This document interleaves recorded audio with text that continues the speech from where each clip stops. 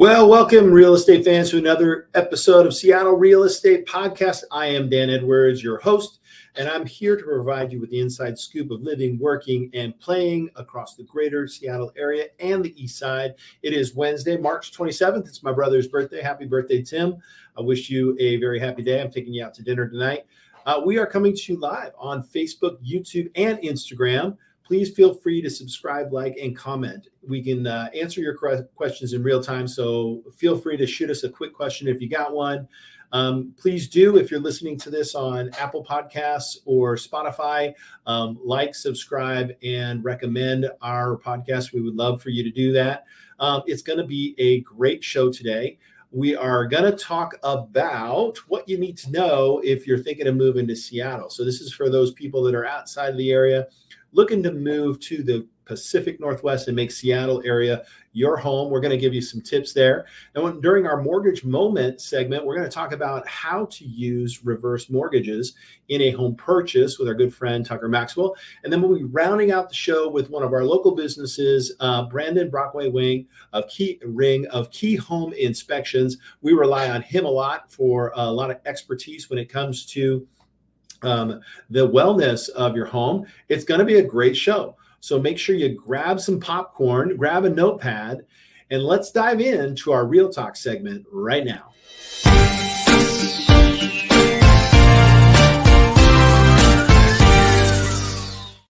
All right, top 10 things you need to know if you're relocating to Seattle.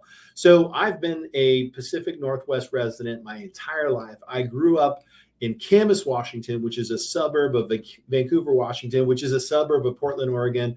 Um, and it was kind of a small town. I moved to Seattle in 93. I am rocking the flannel in honor of Seattle. I love the town. It's beautiful. It is surrounded by lakes, mountains, uh, and the Puget Sound. If uh, if you've ever um, I, I, I, honestly, I've been to a lot of different places, and I really haven't found a place that has the diversity and ecosystem that we have here in Seattle. So, the first thing you need to know if you're thinking about moving to Seattle is there is a giant lake in the middle of the city, a giant lake. It's called Lake Washington. And if you look at a map at an overhead, you'll see Seattle is this sliver, the downtown Seattle is this sliver of area. On one side, it's the Puget Sound, or specifically Elliott Bay that's on the west side.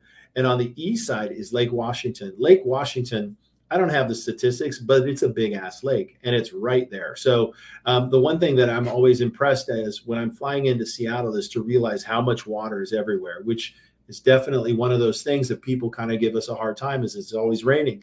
And I believe our good friend Tucker said it was pouring down rain in Bellevue just now. So, yes, it does rain a lot.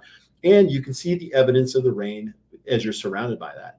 So a giant lake in the middle, and that's important. Why is that important? Because you got to know the traffic patterns. So Seattle has a lot of commuting, right? Just like any city.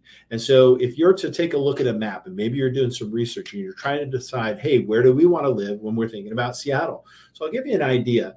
If you're heading southbound from into Seattle, you're going to run into traffic in the morning. Same thing.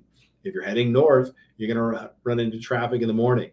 And then if you're actually going across the lake, so you're coming from the east side into Seattle, you're going to get traffic. And also, if you're going from Seattle to the east side, you're going to get traffic. So I know that sounds like, wow, I can't wait to get to Seattle with all of this traffic. But the truth is, is once the, the commute dies down, you can get around the city pretty quickly. You time yourself like, I don't know, maybe around 10 or 11 o'clock. You can get yourself to anywhere in the city in about 40 minutes. You can get to the east side, you can get to Seattle.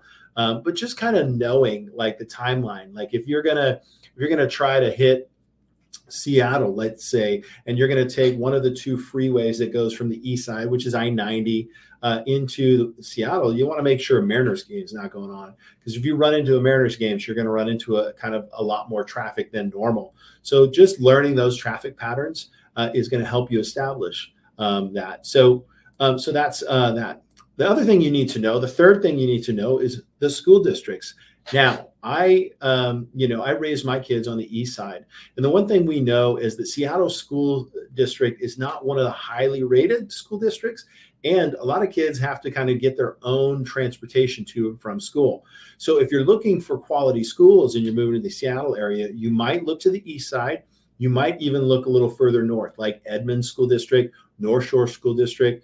And I'm not here to dog on Seattle School District. There are definitely some great schools and great, um, and I think you just have to kind of know what you're looking for. Definitely do some research on that. Now, neighborhoods. Let's talk about some of the neighborhoods that you get when you get to Seattle. Well, a lot of the techies like some of the areas like Lower Queen Anne, Capitol Hill, um, the Denny Triangle. These are areas in downtown Seattle where the commute to work is really just a walk or maybe an e scooter or e bike. Um, Fremont's a great neighborhood. So's Ballard. Um, and then if you're looking kind of affordability, you're going to find more of the affordability in the South. Now, that's if, again, if you're looking at Seattle and you look to the South, um, you're looking at areas like Columbia City, Rainier, you're looking at uh, South Park, you're looking at um, Georgetown. There's definitely more affordability, but some of these neighborhoods are a little rougher too. So make sure you explore, you know, an, an area where you can find a balance between affordability and a safe neighborhood.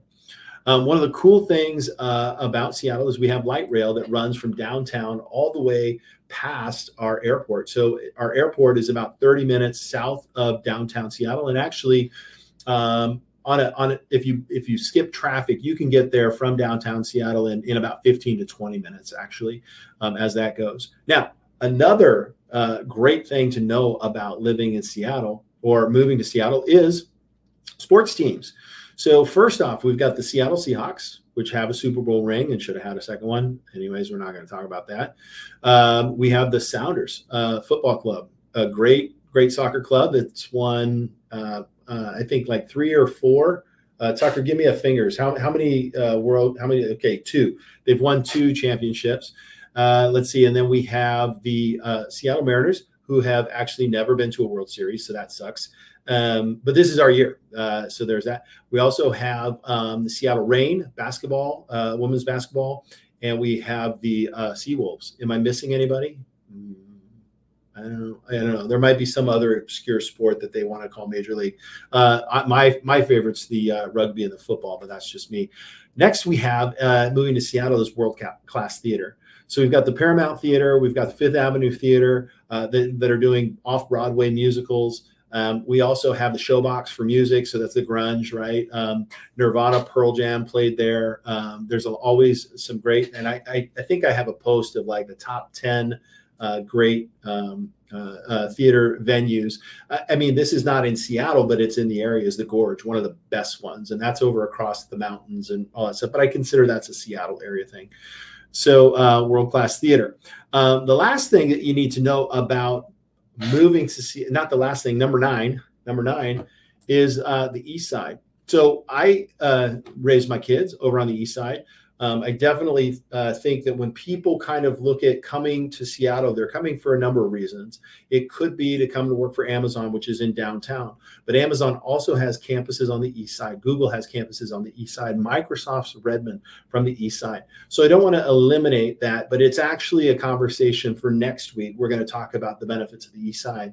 But knowing that if you're thinking about relocating to Seattle, you also want to dig into the east side. All right. Lastly, the most important thing from a real estate standpoint is Seattle is a competitive market. And what I mean by that is uh, we are at 1.2 months of inventory. So that's an all time low inventory. Um, we're basically finding that uh, homes will move quickly. However, there is uh, are certain market conditions with interest rates, which has actually come down, and we'll talk to Tucker a little bit about that um, that are um, creating a little less competition in some instances. But in general, if you're going to live in Seattle and you're looking for a single family house in, in Seattle, we're talking these neighborhoods that I mentioned, it's going to be very competitive. So be prepared for that. It's not, um, it's not uh, anything different. So, all right. So that includes our real talk. So those are 10 things that you need to know if you're thinking of moving to Seattle. So um, next, we're going to welcome our good friend Tucker Maxwell. We're going to be talking about reverse mortgages. So come back after this short commercial break, which is right about. Now. Are you wearing too many hats in your small business? Finding yourself wondering where the time went? Do you ever get frustrated with technology that should just work? Then you need Nerds to Go, America's small business IT department. 425 800 NERD. At Nerds to Go, we provide friendly, professional, and reasonably priced solutions for small business owners. From network troubleshooting to hardware repair or training, let Nerds to Go be your IT department. Call Nerds to Go today. We'll come to you. 425 800 NERD.